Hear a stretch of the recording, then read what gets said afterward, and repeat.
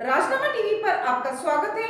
मैं प्रिया, आपके साथ। अनन्या पांडे और आदित्य राय कपूर से जुड़ा एक वीडियो सामने आया है। इस वीडियो में दोनों को मुंबई के बांद्रा कुल्ला स्थित बेरूत रेस्टोरेंट के बाहर स्पॉट किया गया है।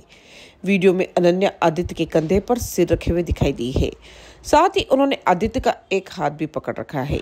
इस दौरान दोनों किसी शख्स से बात कर रहे हैं। इस दौरान कपल को ट्विनिंग करते हुए भी देखा गया। अनन्या ने शानदार ब्लैक मिनी ड्रेस पहनी है।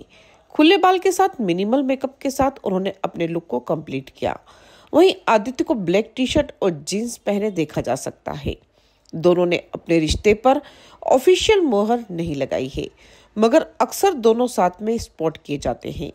कुछ समय पहले दोनों पुर्तगाल वेकेशन पर गए थे, जहाँ की कुछ तस्वीरें इस बात की कंफर्मेशन देती है कि दोनों एक दूसरे को डेट कर रहे हैं इसी के साथ बने रहिए राजनामा टीवी के